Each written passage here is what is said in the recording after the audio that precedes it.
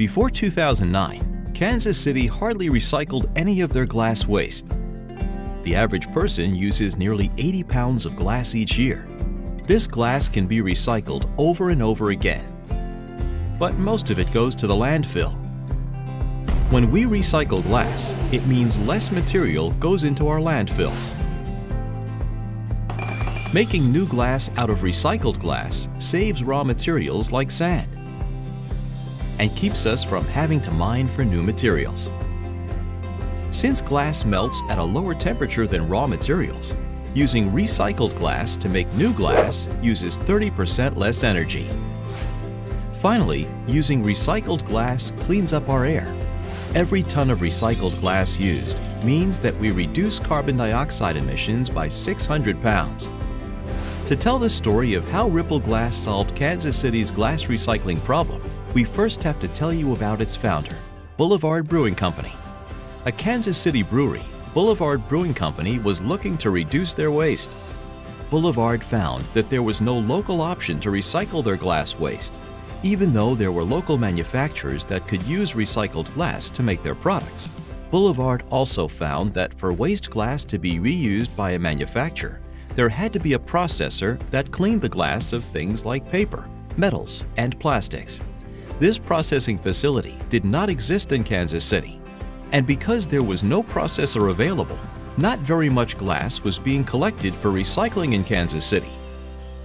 Boulevard got tired of being part of the problem and joined local businesses and community organizations to start Ripple Glass in 2009. Ripple Glass did two things at the same time. It created a collection network for glass in Kansas City and built a processing facility to clean the glass into what we call furnace-ready cullet. Before we take a tour of this processing facility, let's show you how Ripple collects and transports glass for recycling. In late 2009, big purple bins began to appear in parking lots throughout Kansas City. Thanks to local businesses who volunteer as hosts, Residents and businesses began to fill these bins with beer bottles, wine bottles, pickle jars, and all sizes and colors of glass. When a bin gets full, Ripple sends a truck to pick it up and deliver the glass to our processing facility. Because businesses like bars and restaurants use a lot of glass, Ripple started a commercial recycling program for businesses. Purple roll carts are set behind businesses and picked up weekly.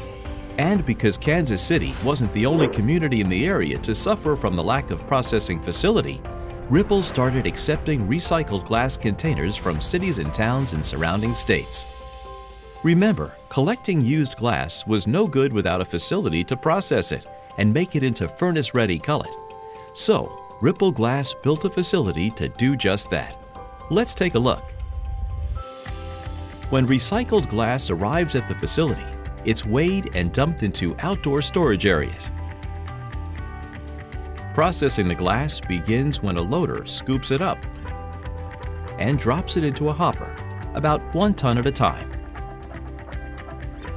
The glass flows onto a conveyor belt and into the facility, where magnets and the human eye are used to remove non-glass items like bags, boxes, and cans. The glass is then fed into a crusher and broken into small pieces.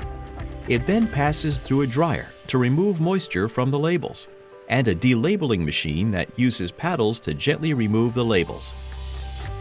Once the labels are removed, the glass is ready for optical sorting. This computer-driven machine uses beams of light to find items that are not glass. Every second, 15 bottles or jars run past this amazing machine. When a non-glass item is spotted, the machine fires a strong pulse of air to reject it. The glass then moves on to another optical sorter programmed to look for colors. This machine looks for brown or amber glass. Once again, when it sees a piece of amber glass, it fires a strong puff of air to separate it from the rest of the glass. This amber glass is used to make new glass bottles, including those used by Boulevard Brewing Company. The remaining glass is then fed into a machine that crushes it down to the size of coarse sand. We call this furnace-ready cullet.